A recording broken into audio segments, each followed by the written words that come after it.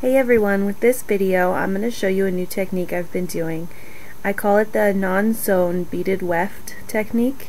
Um, it's very similar to the beaded sew-in technique and the only difference really is that you're not using thread because with the thread I was having um, a lot of people come back, especially people that were really rough on their hair, saying that the thread would break over time, especially with the use of water and washing your hair. So I decided I needed to do a technique where it doesn't really involve thread so we can just totally cancel that out. So I thought of the, um, the non-sewn beaded weft technique where all I do is I take um, two strands of hair above the weft and then one strand of hair underneath the weft. I join them together and then I put a bead around it and clamp it shut and it just holds on to it like it's um, the weft is just sandwiched in between your own hair. So, I mean, it doesn't get much stronger than your own actual hair.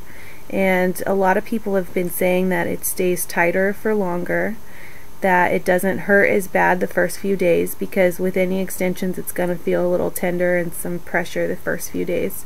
And they say um, it just grows out easier and it doesn't get loose as fast. So that's always good too.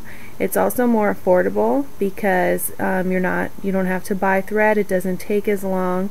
So um, I've had a lot of positive feedback and not really any negative feedback yet.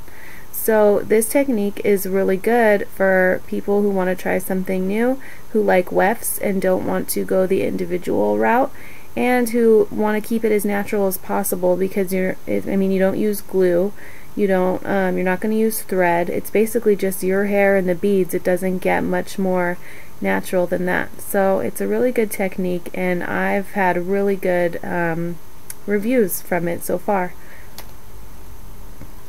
So what that means to the customer is that it's um, it's basically really similar to the beaded sew-in technique except it's more affordable, it's going to last longer, it's going to stay tighter, and you're going to be happier in the end because you're not going to have to worry about your thread breaking or something coming unraveled. Really the only thing you need to worry about is the strength of your beads and the beads are pretty strong. It's very rare that a bead will fall out and if it does, all you have to do is come back, get a new bead put in, and you're fine.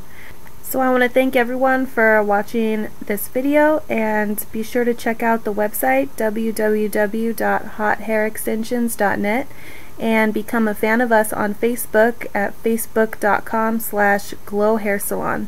Thanks again.